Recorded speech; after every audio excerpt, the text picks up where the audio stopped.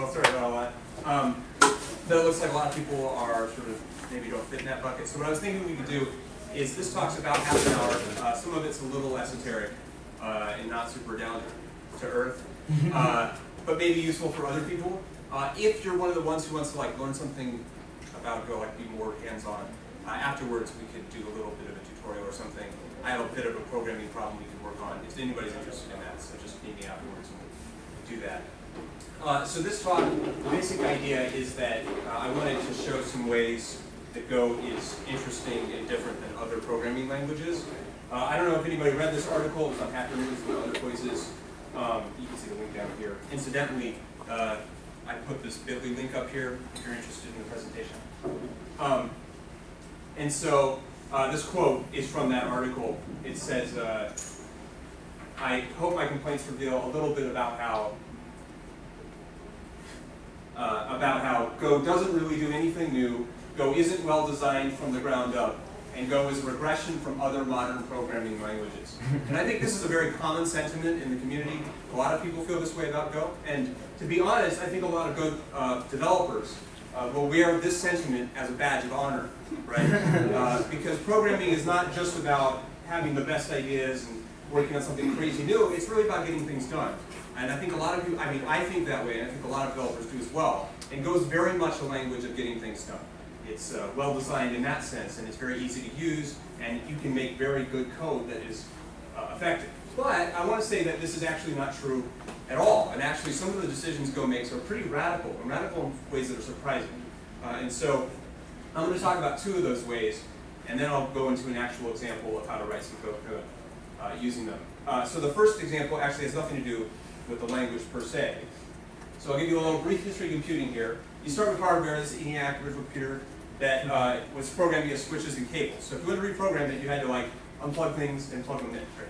It took a very long time, and so one of the first innovations in computing was software uh, and the stored program computer. So this is the von Neumann architecture. Modern computers follow the same architecture. The idea is you store your program in memory along with your data, right? And so uh, this means you can program using machine code, but of course, as soon as you can do that, you can have a program which makes other programs, right? And so that's like an assembler for assembly, or a programming compiler, like Go, for example, or C or any other programming language. And that sort of opens up the world of what we can do with it, right? Uh, and the first thing you'll notice when you start going down that avenue is once you start making more complex pieces of software, uh, is you have code that needs to be reused. And so we introduce libraries, right? Uh, I have a mathematical function I wrote for program A, and I want to be able to use it in program B. Uh, and so the simplest way of doing that is static linking. Okay, so I literally take that code and copy it into the other program. I'm reusing it, right? I'm getting that advantage, but it's actually a copy of the original code. Now, there's sort of two problems you get with that, and probably others. Um, but the two basic problems are uh, one, you're, since you're copying it, you end up with a lot of redundant code. Uh, and in machines that had not a lot of memory, that was a big problem, right?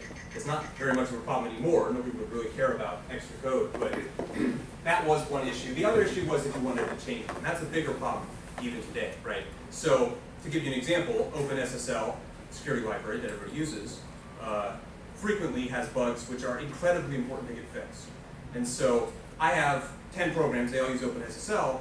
It would be nice to just update that once and all of them get the update, right? And so that's the dynamic linking approach. Uh, and so at an operating system, you'll see DLLs in Windows and SOs and Unix, and these are shared code libraries. And the way it works is I make my program, and the compiler, it inserts basically a symbol, and then when the program is run, it replaces that symbol with the address of the actual library or whatever. Um, and so, but this is like a bigger idea. It's not just an operating system thing. It's like a, an approach to doing software. so you see it with compiled virtual machine languages like Java and .NET. They have dynamic linking in the sense they have DLLs, they have Java jars, and you see even in interpreted languages, right? Ruby, Python, Node.js. In other words, what I'm saying is, if I write a program in Python, it depends on a library. I need to have that library installed on the machine in order to use my program, okay? That's dynamic linking. So I like to think of it this way. Dynamic linking is in some ways the fruit in the garden, right? And it looks amazing. You say, if we could have this we would be gods, right? That's the idea.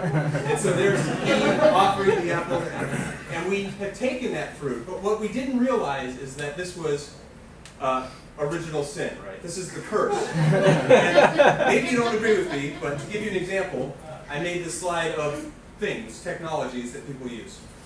And in some ways, all of these technologies are examples of ways to handle the problems introduced by dynamic linking. So these two up here, Chef and Puppet, are ways of doing uh, IT automation, uh, which in a lot of ways is installing libraries like OpenSSL.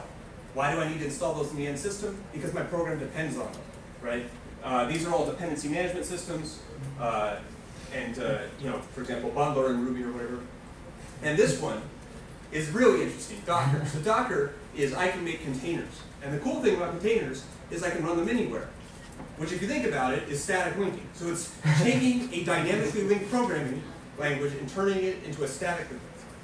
Uh, so anyway, to get back to Go, Go is a statically linked uh, compiled programming language. So it never took the fruit, right? And I think, I'm not even sure the inventors of the language realized they were doing that on purpose, as much as, since Plan 9 didn't do it, they were like, well, why would we do it, right? Like, they didn't even think that. And so, Go is very radical in the sense that most programming languages are dynamically linked, but Go is not. Okay. Uh, so this is how compilation in Go works. Uh, this is important because I think there's a bit of misinformation about dependency management in Go. A lot of people complain that Go doesn't have a good dependency management solution, right? It doesn't have bundler, it doesn't have NPM. Um, I guess the point I'm trying to make is that that's not as big a deal as people make it because uh, since it's statically compiled, uh, you don't have to worry so much about when you put it out and run it, right? It's going to work. And so this is how it works in Go, sort of to make this point. Uh, you have these three folders, right? So if you have a workspace, you have these three folders, bin, package, source. All your source code is stored in the source folder, right? And so the name of the library, like this is github.com slash nf slash to uh, that is the package name when you include? It's really simple, it's laid out in folders. And then when I run go get and go build and go install, they look in these various folders for the thing. So if I run go install, it's going to take this and put it in the bin folder. And this is a package main, that's why. And if it's not a package main, it put it in the package. Okay? And so it's really simple layout. If you understand this, and if you don't understand this, I would definitely recommend reading the doc, uh, which is on the GoLang website. Like I said, if you can't read that, it's on there, or you just go golang.org. Um, and we'll explain how this works. It's pretty simple. You can understand it in like half an hour. Uh, and the reason I think that's important is that dependency management in Go is easy because dependencies are a build time issue, not a runtime issue. Okay? If you get your source code in the right place, you're done. So it's just a matter of getting the source code in the right place. There are tools that can do that, like these tools, uh, GPM, Godep, uh, Goop, I guess. uh, but you don't even need a tool. You could write a bash script that could do this. It's actually that simple. Um, and in fact, the naive approach of just doing go get, which always gets you the latest head version, uh, that works pretty good. And the reason it works pretty good is you're doing this at build time. It's not an issue you get when you say, oh, deploy my code. It's an issue you get when I'm writing code, which is exactly the time when you can fix a problem that you find, okay? Uh, but if you're concerned about versioning, there are ways to do it. Uh, in fact, one of the ways is called vendoring, and that's where you actually copy the code, right? So instead of being github.com slash nf slash do, you sort of put it in your own namespace. And so you're sort of forking their project and making it yours. Uh, so that's one approach, but you can also version with these tools. Uh, basically, you'll have a file that will list the projects and a version, and it will make sure you get that version every time you go. Um, so that's dependency management Go. The bigger point being, though, static binding is great. Okay, it makes a lot of these problems way easier to do. Okay, so here's the second topic I want to talk about. Uh, Pike has this article, which is a great article. You should read it. Called "Less is exponentially more." You just search for that and Google will find it. Um, and he has this quote. Uh, he says, if C++ and Java are about type hierarchies and the taxonomy of types, Go is about composition. And what he's driving at here, he asks this question of why is it that Go has not been popular with C++ programmers? Um, and I think he discovers, in, and he writes about it here, the reason why is it's something very fundamental to the approach of writing software. And so uh, this right here. So traditional object-oriented, and this is also true of strongly typed functional programming languages, focus on types as the fundamental building blocks of software. So in Java, C++, C Sharp, um, and in Haskell and Scala, and I think even probably newer programming languages like Swift and Rust, the, the approach you're taking is you think about types as your fundamental building blocks. So uh, when you start, you're saying, I need to develop a piece of software that does X. You say, what are my types? That's where you're going to start, right? You're going to build your type hierarchy, and then from there your code will flow out. Okay. Now Go, Go's approach is not like that. It's very different. Um, in the Go approach, you're going to start with sort of, what do I need to make it do? And then as you write your program, your, go, your types will emerge. You'll discover the types in the program. Um, and we'll see an example, maybe, of how that works in a second. Uh, but I think this is actually a really fundamental disagreement, and it has areas in more than just programming. Uh, so, this is a famous painting called The School of Athens. Um, and the two figures, well, does anybody know the two figures in, in the center? Plato and Aristotle. Thank you. Uh, so yes, Plato and Aristotle. And what's interesting about this painting, you'll notice that Plato is pointing upwards. It's Da Vinci in there too also. Yeah, Aristotle's like downwards, right? And so this is in some ways not entirely accurate. I mean, that's just sort of, I don't, I don't want to get into philosophy too much here, but uh, in Plato's philosophy, types, or what he calls forms, or categories in some ways, or like this idea of form, which is very similar to type, is fundamental. That's the most important thing. And the famous analogy he gives is called the allegory of the cave. And if you imagine, the way he positions this is, you imagine you have uh, several people, they're chained up, and they're staring at a wall, okay, in a cave. And behind them is a, a fire. And then there's people in front of the fire, but behind them, who have shapes that they're putting up. And they see on the back of the wall shadows, right? So they see people walking across, but shadows of people, right? Um, and this is how they've lived their entire lives. So all they see are the shadows on the back wall, right? That's the idea. Now, imagine if they were to be unchained and to look around and see the things for themselves, right? They finally saw the things that made the shadows? And imagine furthermore that they left the cave and saw the real world as it was, right? Um, so you could say, say that the wonder and power of higher order, let's say lazy and pure functions, are unfurled before them, right, in all their splendor. But then they discover that actually, like making a program that says "Hello World" is really hard, right? And that'd be true of Haskell, right? And that's, I think, in some ways, when you discover Haskell, you, you get that sensation of, you feel that power of, I have finally experienced the world as it is. I can sort of move on. But I think sometimes we overestimate our ability to analyze the world around us and really see the types as they are. Okay? And I, see, I think you see that problem in languages like Java and C++. We, we sort of come up with a solution, and then we try to put it on the problem, and it doesn't fit so well. And then we try to make the problem sort of fit into it. It becomes really difficult. So I think, in some sense, Go's approach is much better because it makes it so that we can get a solution that's better suited. Um, but to get back to the original point I made, you don't have to agree with me on that. I'm just saying that this is something of fundamental disagreement, okay? And that you can see how somebody could have a different opinion. That doesn't mean that Go is a badly designed language. It just means it's very different, okay? That's the point. Okay, so here's the example of uh, composition. Um, here's an example program that you have rectangle, right, and rectangle is area, and circle, circle has area. They both implement the shape interface. Notice they don't implement the shape interface. You never say that. The shape interface sort of emerges from the types. Because they happen to both have the area function, they get the shape interface. Um, so Go is generally, you're, you're writing has a relationships. That's the composition bit. So I say A has a B. I don't say A is a B. Okay? This gives you something like the is a relationship. But it's not, you're not building the hierarchy. Getting you sort of one level up. Um, and so generally the focus is on has a, right? Uh, whereas in other languages the focus is on is a. Um, and to give you another example where this composition is useful, you can imagine Unix pipes, where you have one program, its output goes to the input of another program. And as long as you make a program which can take that data, do stuff with it, you can swap it out with a different program, right? So that's Unix pipes. And, and Go's model is very similar to that.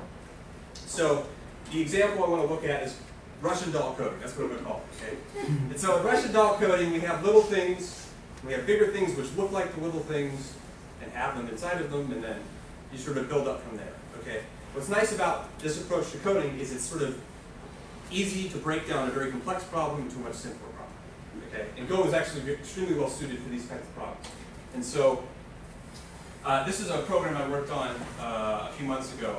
I had to create an app which would take a, a song or some other MP3 and some several other MP3s, small ones, and insert them into it and do this streaming.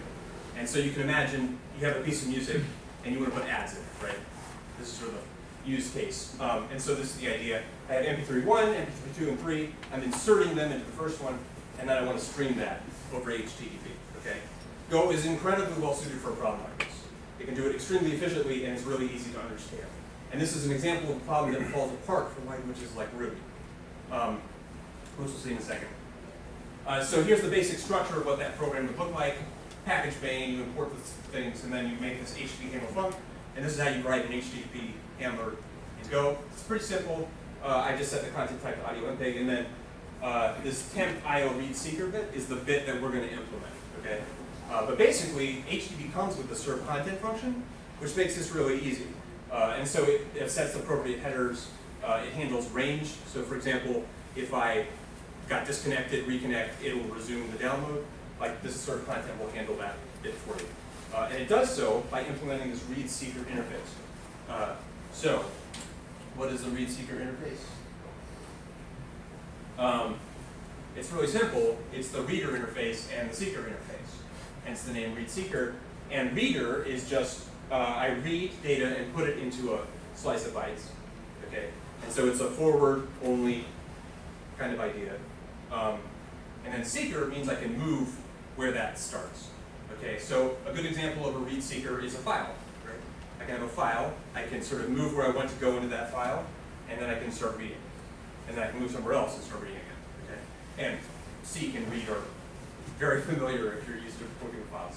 So um, basically what we want to do is create a splice function. Okay, and so I want to create a new read seeker, which is the result of splicing several other read seekers into the first one at given offsets. So this would be the sort of function I want to try and implement. Uh, I have my source. This will be the initial file, and then I have the splice map. Okay, and so imagine I want to say insert one file at five seconds, insert another one at 10 seconds. Okay, and I would build that. Um, and then that's going to return another read seeker. So this is the Russian doll bit here, right? I'm taking read seekers and making a new read seeker. Okay. Um, so if we were to put that in code, what I'm trying to do is this. Imagine I open three files, and then I create my temp, my IO read seeker we saw before, uh, with the call to splice. Right? Everybody following this? Any questions so far?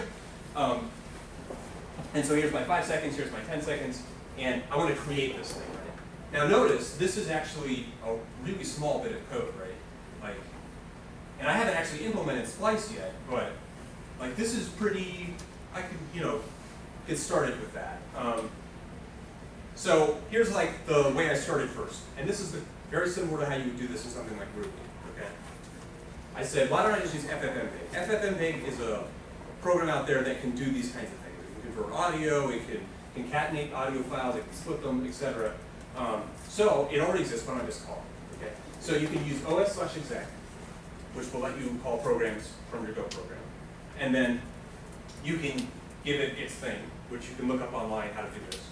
And then uh, take that resulting MP3 and serve it via HTTP. Okay?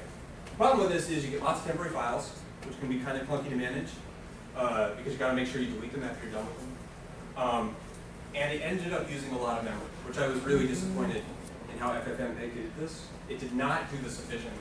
It turns out with an MP3, if you have MP3s of all the same format, you can splice them together on the fly without needing to sort of pull the whole thing in. Can take pieces of one and put it in the other. The format allows for that. So it was really disappointing that it didn't do that for me.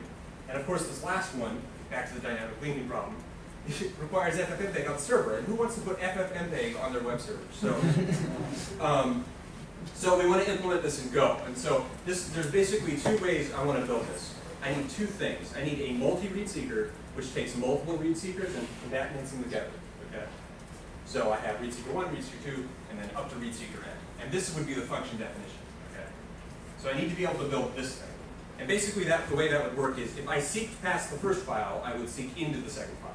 Okay, and if I read past the same, same way. So it treats multiple files as one big file. That's what I'm trying to do. Um, and the other piece I need is a section read seeker. And that is, instead of the whole file, I just want a piece of it. Okay? And so it treats this uh, sort of this bit here in the middle as a file. Okay? This is actually really simple to implement. This guy is a little tricky. Okay? You got some edge cases you got to think about. Um, but I think you can kind of see how one would implement something like that. Okay? Um, and the same goes for this. You can see how, given an offset and a length, I could implement this. Basically, the way it would work is if I read past the end of the file, I would return an error instead of returning data. Okay? Um, and then everything that uses readers would know how to handle it? Because they all implement the same interface. Um, so to sort of get back to how we started, I have this uh, original file, and this is the code I would call inside of Splice. Okay? I would say new multi-read seeker, new section read seeker, and I give it from zero to A, so that's the first bit. Um, and then I'd say file two, and then new section read seeker of the first file A to B, and then F3, and then the end bit. So now I have five pieces. I put them all together, um, and then I have this resulting read seeker that does everything I want it to do. Uh, so the only thing that are left are, well, first of all, I need to handle MP3s properly, right? And so an MP3 is made up of headers, an ID3 tag, and then frames in the middle. So basically, I created a strip function, which just gives you the middle bit, okay? And what would this return? Just like what would this call? Anybody know? Byte array. This would return a section read seeker, right? This is just a section read seeker of a file. I, but I just need to process the first bit to know how to do that. Um, the other thing I need to create is something to turn uh, a time, like five seconds, into an offset. Uh, that turns out to be really easy if you read the spec on an MP3 to do. Uh, the frames tell you how long they are. You can find formulas that will do this. And then maybe create new headers throw them in the. If. You don't, you don't have to do that. You can just return data. Um, the other reason you need the frames is so you don't cut in the middle of the frame. But the truth is, actually, if you just did the dumb thing, it would probably work okay. You get like a little glitch in the file, but people probably wouldn't notice. Um, so, uh, so to reiterate our, our final thing, this is the Russian dolphin, right? Uh, I have my outer multi-read seeker. Inside of it, I have section read seekers, and they have pointers to files. That's the idea. And so, the reason why this is a powerful way to approach programming is I can think about making this as a sort of really simple small problem, and then I can think about making this as a small problem, and then once I've done that, I've already finished all the work I need to do for the big problem. Okay, uh, and so that's the composition, not in the sense of having data, but in the sense of thinking about a problem. It's actually very similar to functional programming. So, uh, but it's not functional. Kind of a different, different thing. So, other examples of this kind of thing, you see it all over the place in I/O, and they love their readers in I/O. It's it's great. So you have a limit reader, which would only read up to a certain limit, and then you have multi-readers, which is like our multi-read seeker, combines a bunch of readers together. You have TeeReader, which is kind of cool because it like reads, and then as it's reading, it writes to another thing. Uh, super handy. Um, you see this idea in compression. Uh, I have a reader. I want to compress it. You can feed it to gzip. It creates a new reader that's now compressed. And anything that uses a reader can use your compressed reader. So it's really simple. Um, and then there was a great talk at GopherCon where he built web services using this approach. So basically implemented HTTP handler at various levels to build an entire web stack. Um, so this is a super powerful idea of sort of the Russian doll coding. I don't know if there's a better name for it, but you'll see it all over the place. Okay, so that is uh, basically it. Okay, so.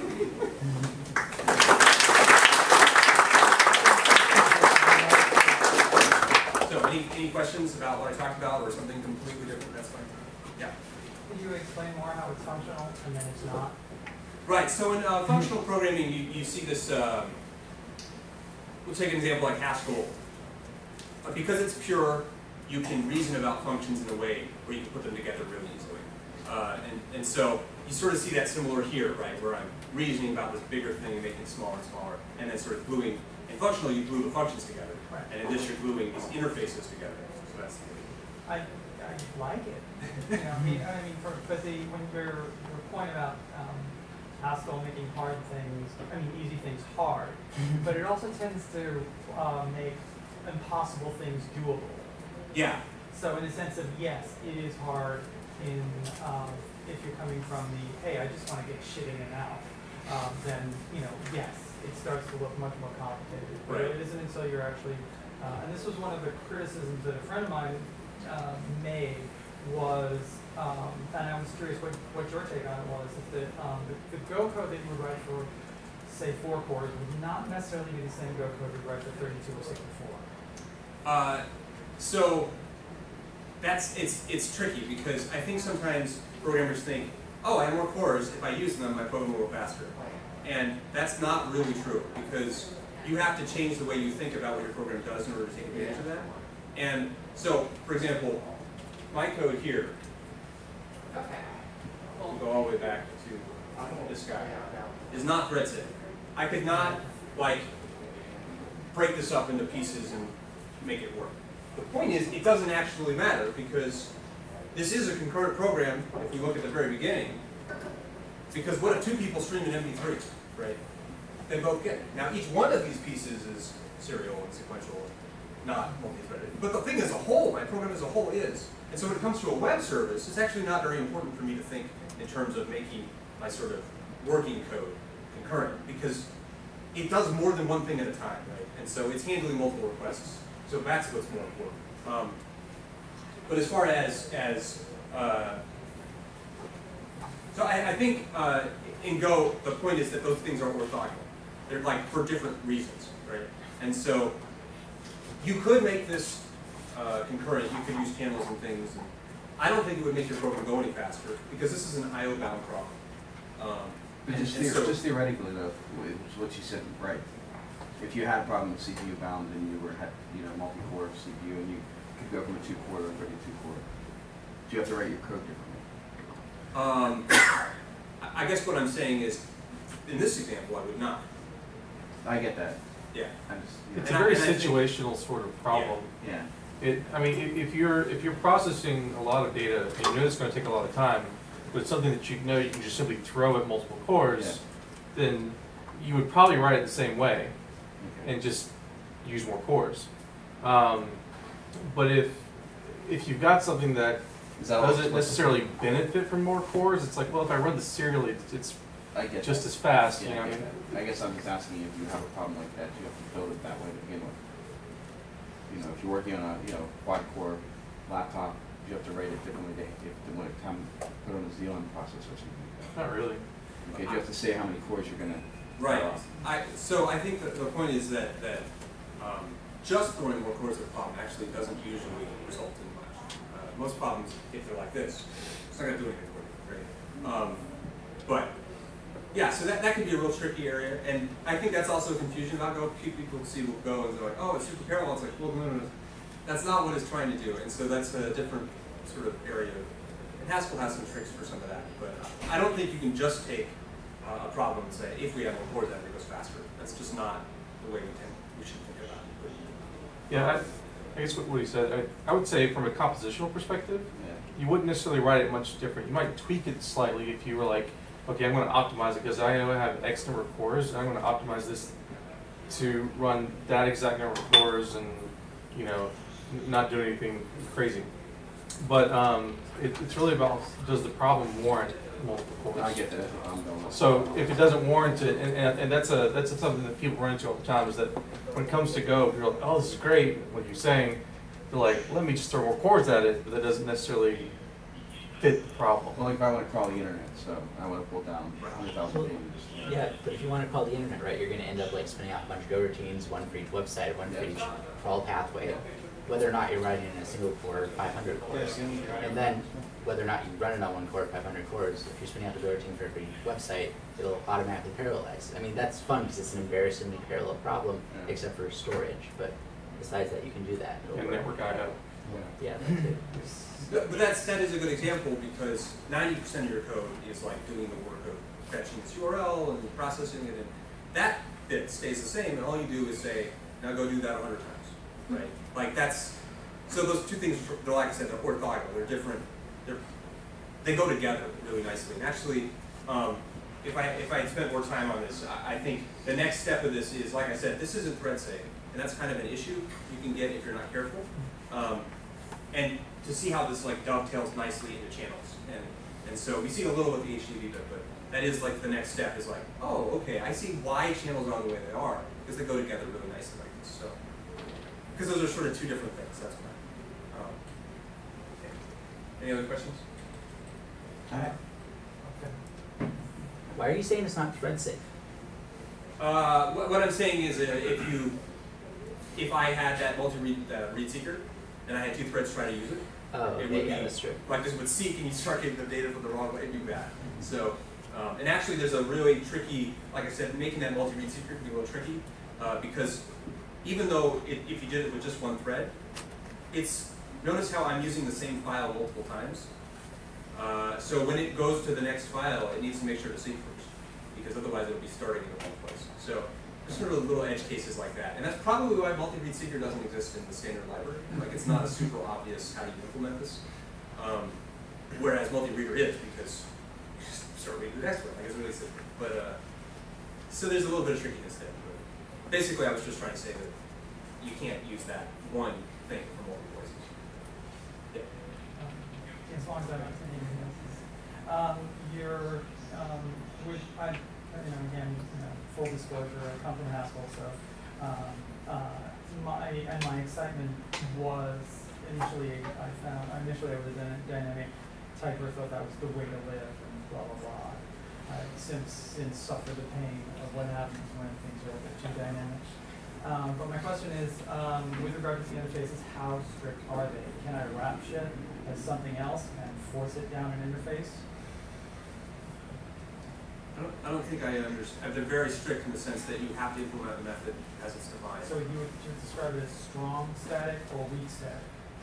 Um, I'm, I'm not sure. I'll get that. Well, to give you an example, like, uh, let's say I'm, you know, writing something in Haskell, basically, um, if I set up the interface to be an int, you know, basically an, uh, a limited, um, allocation of memory.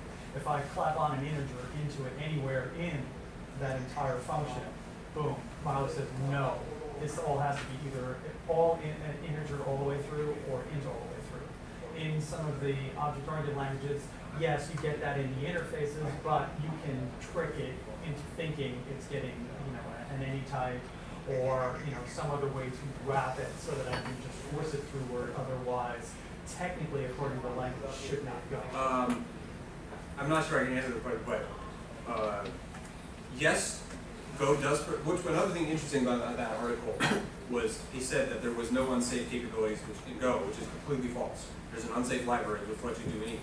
So you could Whereas that's super now. you could put data somewhere and say, no, it's now afloat, and it would let you do that. Uh, that would be unsafe, but you could do that. So yes, you could trick it that way.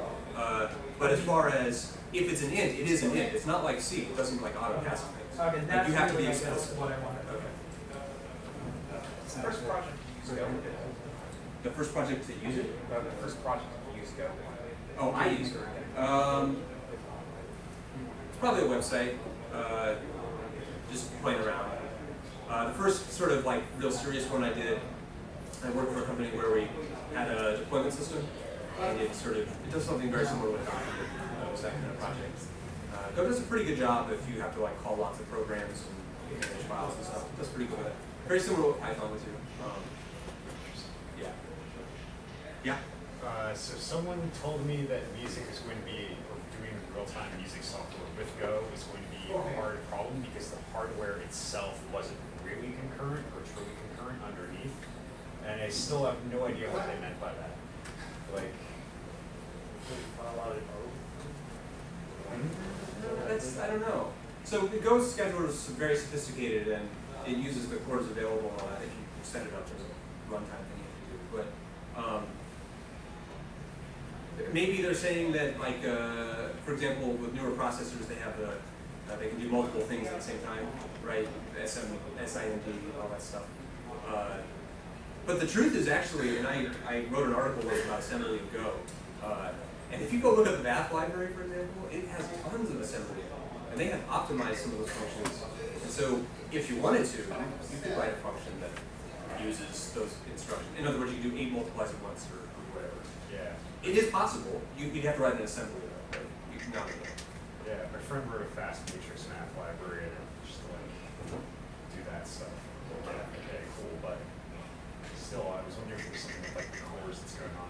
I mean, I'm, I would just dismiss this question, but this person probably works a lot closer to the actual. Yeah. Um, It, it, it might be an example like uh, with Erlang, which gives you much more, much better guarantees. Okay. So maybe it's something like that, right? Or like Chuck, which is like strongly timed, quote unquote. Um, yeah, okay. Because there's no guarantee like that this Go routine will not run for this much time and this one will run. It doesn't do anything like that. Yeah, yeah, okay. Yeah. It's magic. Any other questions? Okay, It's probably a simple one. So the Go path thing you had at the beginning, am I supposed to, I set up a common area to like to pull down the GitHub stuff like database libraries, Uh-huh. Or Am I supposed to pull that into my project and just create everything self-contained? Is that the whole philosophy? Uh, When you do Go Get and Go Path, like I'm, So there are different approaches to that problem. Uh, one is to have one big go path, and you would just pull the code down into this folder. Actually, you don't have to, you just do go get. And if you have this environmental variable, the go path environmental stuff, it'll put it. so is that for your project then, just project based where you do it? Because say, you know, if you have three different programs you're working on, you, do you have one Go path per project or is that just? That, that would be the approach of having one go path for all the projects. Okay, Uh, which actually is not a bad approach if you can get away with it. Um, it depends on, it kind of depends, if it's just like your company's code, yeah. one go path's probably pretty good. Uh, because if, if you sort of are interfering with each other, you, sh- you should, in all your projects, be using the same version of some library. Otherwise, you're gonna have other headaches. So, um, if you can get away with it, that's nice. But that's not always possible. If you depend on some third-party program that depends on a version of the library you're not using, then you get this collision, right? In other words, say there were two versions of this task library. I have some program that uses one and another program that uses a different one. Well, this is all in one place, and that kind of stuff too. Uh, and so you can, the other approach is to have different go paths. And so you can set up a go path for one, And then would you pull down the the libraries for GitHub each for each one? Go Get? Right, and then you would like do git checkout and give it the version you want. And then you, Which the, the other tools will do for you. and then you have to just say go run to do.go and it get, does all the other files together. You don't have to do any kind of make files or anything like that. No, that's right. It, it's all based on the go path. Uh, and in fact, those other tools, they do things like, uh, you run the command of the name of the tool, and then go run whatever. And what it does is adds to the go path. The, uh, it has like a little folder built in. Okay. So, so those tools will do it for you, uh, these tools. Um, if, if you, you can look at them and see how they do it. Um, Okay. But, yeah, there are approaches. Anything else? Yeah? So, um, you talked a bit, a bit about static linking. Uh, obviously, with static linking, you can have bigger file binding. Yeah. That's a byproduct. So, how efficient is the linkage tools in Go as far as how granular can it go down to like a function level or package level or? Yeah, I'm not sure about that. Go, Go binaries right now, and this is a known issue, are large. Uh, though, large, so I work on a lot of Java code, and our megs are 180 megs. They're not that big, so anything to me is an improvement, right? They're like 10 megs or 20 megs, or yeah. So they're not crazy big, but yeah, I don't know how. This also falls apart with when you're linking to C programs. It doesn't quite. Some of those are dynamic. So, uh, but for Go code itself, yeah, I think that is something to worry about. To try and make it not. You can use um, there's that uh, executable or uh, compression you can do UPX or whatever. There's a project out there that can do for Go. That helps a little bit, uh, maybe seventy-five percent. I, I don't know. Um, but I, you can also use uh, differential compression when you push out your code, right? And so say like 10k of the change, but that's like all pushes. Um, so rsync will do that. Other programs will do that. How do you pin the version? Um, so the way that most of these work is there is a file in your project, like a Godep file, which has in it the list of projects that you depend on and their versions. Um, and you just say Godep or whatever it does it. Um, or you just always use head, and then that's Christine. So uh, regarding binary size, just as an answer, um, something that happens in the Go community as well is instead of bringing in a whole library, you might just crop out the bit of code that you need uh, which would be a bit more duplication, but it will get your binary sizes down, and you'll see this in the standard library. Like, there are certain uh, string functions parsing integers into strings and stuff like that, and vice versa. Uh, There's a whole library that does that in the standard library, but for things like, I I want to say the HTTP package, they decided not to take a dependency on the big sort of conversion library, and just brought out the two or three functions they need and just pasted them right in, which is pretty legit. Yeah, I, think that's also another interesting thing that's sort of unique about Go is they are not afraid to violate the DRY principle, and they will do so. And so, for example, you'll see that with, you know, how do I do a map in Go? And they're like, use a for loop. And you're like, that's not a math, It's like, but it is, it's only three lines, it's not like, sometimes repeating yourself is okay. And that's an example where they do too, where it's like, you know, it's, it's like a very small function, so why don't we just repeat it? It's not a big deal. And we see that with testing a lot, because you don't want to have libraries for your tests, so. No people one's, just copy a function they use. uh, no one's ever been fired for using a for loop. Running. Somebody should post that on Twitter. Uh, that's, my friend did already, so. Oh, okay. So, uh, it's already done. Spaceman, uh, like, steal his tweet, whatever. Uh, Entirely possible. Any other uh, questions? Um, No? Okay, I think we're done. Uh, so is anybody interested in, uh, sort of having a tutorial thing? I don't know. Sure. Or we could just chat. 何を言うんですか?